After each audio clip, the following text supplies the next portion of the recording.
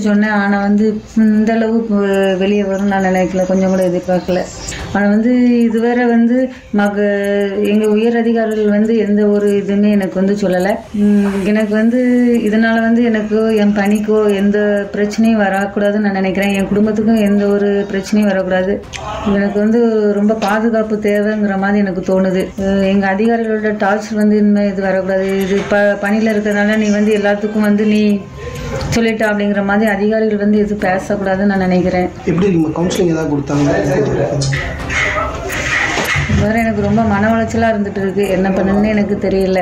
இப்போ இது எதுக்காக சொல்கிறீங்க பாதுகாப்பு வேணும் அப்படிங்கிறதுக்காக எனக்கு வந்து பாதுகாப்பு வேணும். நான் பணியில் போகும்போது வரும்போது எந்த ஒரு அசம்பாவிதமும் எதுவும் நடந்துடக்கூடாது. எனக்கும் என் குடும்பத்துக்கும் வரக்கூடாது.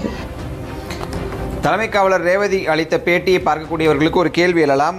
ரேவதி இந்த பேட்டியில் இவர்களை இவர் அடித்தார் இந்த உதவியாளர் தாக்கினார் விஷயங்களை ஏன் சொல்ல அப்படிங்கிற கேள்வி உங்களுக்கு எழலாம். ஆனால் ரொம்ப ரொம்ப சிம்பிளாக ரேவதியோட இடத்துலேருந்து நீங்கள் அதை புரிஞ்சுக்கணும். ஏன்னா ஏற்கனவே மேஜிஸ்ட்ரேட் கிட்ட அவங்க கொடுத்த வாக்குமூலம் ஆன் பேப்பரில் ரெக்கார்டாக இருக்குது அந்த வாக்குமூலத்தை நான் ஏற்கனவே இந்த நிகழ்ச்சி தொடக்கத்தில் படிச்சிருந்தாலும் இப்போது யாராவது சேனலுக்குள்ளே வந்திருந்தா அவங்களுக்கு புரியணுங்கிறதுக்காக மறுபடியும் ஒரு முறை படிக்கிறேன். அடுத்த சாட்சி இது வந்து மேஜிஸ்ட்ரேட் பாரதிதாசன் அவர்களுடைய அறிக்கை. அந்த அறிக்கையில் இருக்கிற காட்சிகளை தான் நான் அந்த வரிகளை தான் நான் உங்களுக்கு படிக்கிறேன்.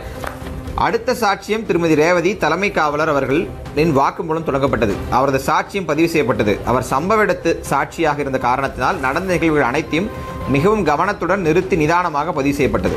அப்போது சாட்சி மிகுந்த பயத்துடனும் தான் உண்மைகள் அனைத்தையும் சாட்சியாக சொல்வதை வெளியில் சொல்ல வேண்டாம் என்றும் தான் சாட்சியம் அளிப்பதை வெளியில் உள்ளவர்கள் கேட்டுக்கொண்டிருக்கிறார்கள் என்று பயந்தார். அடுத்து சாட்சியம் கூறி வாக்குமூலத்தில் கைதிகள் இருவரையும் அங்கிருந்த காவலர்கள் அவர்கள் விடிய விடிய லத்தியால் அடித்ததாகவும் அதில் லத்தி மற்றும் டேபிள் ஆகிய இடங்களில் இரத்தக்கரை படிந்துள்ளதாகவும் அதனை அவர்கள் அழிக்க நேரிடும் என்றும் அவற்றை உடனடியாக கைப்பற்ற வேண்டும் என்றும் கூறினார். அவ்வாறு சாட்சியம் அளித்துக் கொண்டிருந்த சாட்சி பிரிண்ட் எடுத்த பேப்பரில் கொஞ்ச நேரம் கழித்து கையெழுத்து செய்கிறேன் என்று மேல் தளத்திலிருந்து கீழ்த்தளத்துக்கு சென்று விட்டார். இதைத்தான் வந்து அவங்க சொல்கிறாங்க அதை தாக்கிய விஷயத்தை நான் மேஜிஸ்ட்ரேட் சொல்லிட்டேன். மேஜிஸ்ட்ரேட் என்ன சொன்னோனோ அதுதான் உண்மை. அதை எந்த இடத்துக்கு வந்து சொல்றதுக்கு நான் தயாராக இருக்கிறேன்? எந்த மாற்று கருத்தும் இல்லை அப்படின்னு தலைமை காவலர் ரேவதி சொல்லியிருக்காரு.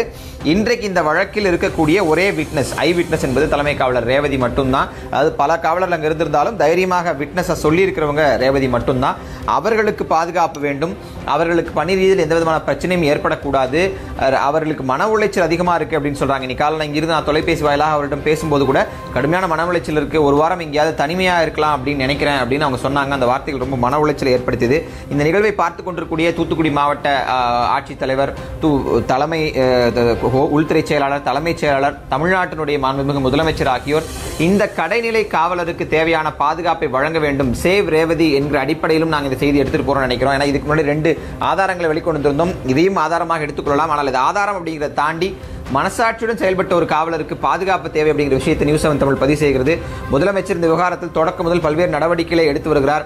ஒரு புறத்தில் எதிர்க்கட்சிகள் விமர்சனம் இருக்கிறது ஒரு புறத்தில் நடவடிக்கை இருக்கிறது. இது ரெண்டுக்கு நடுவில் ஊடகத்துறை சார்ந்த நாங்கள் முன்வைக்கக்கூடிய கோரிக்கை என்பது இந்த காவலருக்கு உடனடியாக இப்போது தேவைப்படுவது ப்ரொடெக்ஷன் பாதுகாப்பும் கவுன்சிலிங் மன உளைச்சலிருந்து அவர் வெளிவதற்கான கவுன்சிலிங் அவருக்கு அவரது உரிய உரிய அதிகாரிகள் எந்த பிரச்சனையும் ஏற்படாது அப்படிங்கிற தைரியத்தை தரணும் அப்படிங்கிற கோரிக்கை நாங்கள் இங்கே முன்வைக்கிறோம். அது மாவட்ட ஆட்சித்தலைவர் தொடங்கி முதலமைச்சர் வரை பலருக்கும் நாங்கள் இங்கே இந்த இந்த விவகாரத்தை வெளிக்கொண்டு வந்த சேனல் என்கிற தார்மீகத்தில் அடிப்படையில் முன்வைக்கிறோம். தொடர்ந்து நமது இந்திய இந்திய கம்யூனிஸ்ட் கட்சியின் மாநில செயலர் திரு முத்தரசன் நம்முடைய இணைப்பினர்களிடம் பேசலாம். திரு முத்தரசன் தலைமை காவலர் ரேவதி மீண்டும் ஒரு முறை பதிவு செஞ்சிருக்காங்க. நான் சொன்னதெல்லாம் உண்மை அப்படின்னு இந்த ஆடியோ நீங்களும் கேட்டிருப்பீங்க. இப்போதைக்கு அரசு என்ன நடவடிக்கைகள் எடுக்க வேண்டும் என்று நினைக்கிறீர்கள்? சாத்தான்குளம் காவல் நிலையத்தில் பல பேர் பணிபுரிந்தாலும் யாரும் சாட்சியம் அளிக்க முன்வராத நிலையில் ரேவதி அவர்கள் நடந்த சம்பவங்களை அப்படியே சொல்லியிருக்கிறார். அதை சொல்லுகிற பொழுது அவர் சொல்லுகிற வார்த்தை ரொம்ப மிக முக்கியமானது. மனசு